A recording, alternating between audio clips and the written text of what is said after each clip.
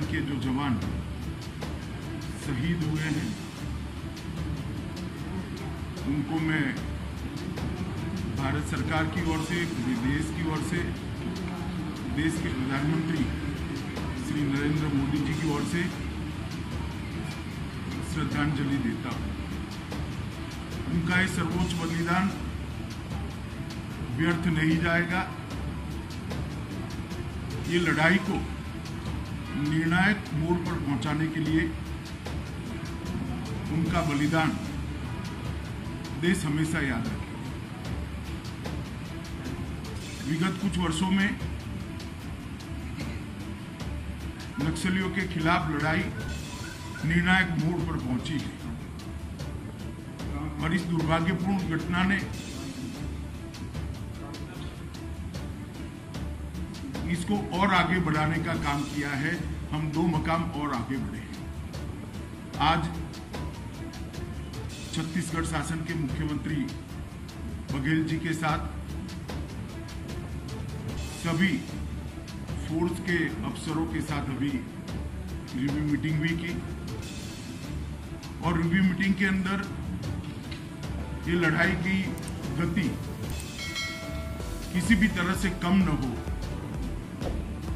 ये सुझाव अफसरों की ओर से ही आया जो बताता है कि हमारे जवानों का मॉरल अभी भी इंटैक्ट है और आगे बढ़ा है। और मैं देश को विश्वास दिलाना चाहता हूँ कि लड़ाई रुकेगी नहीं और गति के साथ आगे बढ़ेगी और इसको हम अंजाम तक ले जाएँगे। ये लड़ाई में, अंत में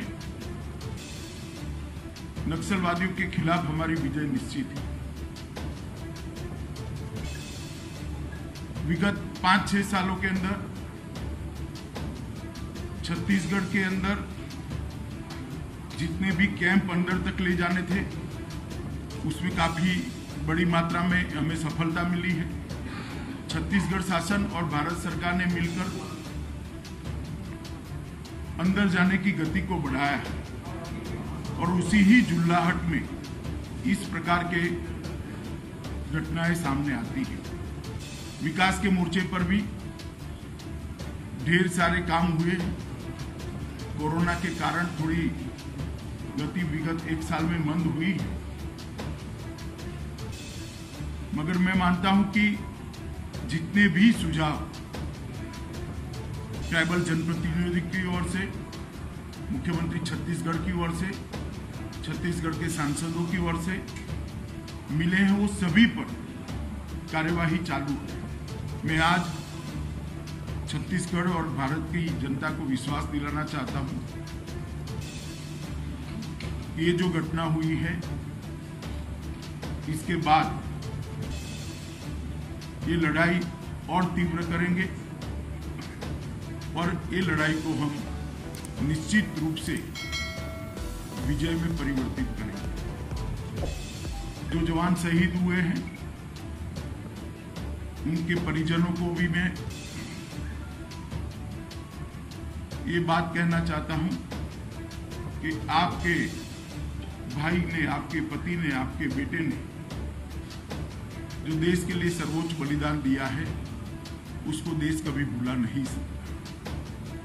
मैं भारत सरकार की ओर से आपको इतना ही कहना चाहता हूँ कि संकट की, दुख की इस घड़ी में पूरा देश आपके साथ खड़ा है। मैं शहीद हुए हुए जवानों को श्रद्धांजलि देना चाहता हूँ और उनका सर्वोच्च बलिदान जो है, वो व्यर्थ नहीं जाएगा। इसके लिए मैं देश को विश्वास दिलाता हूँ।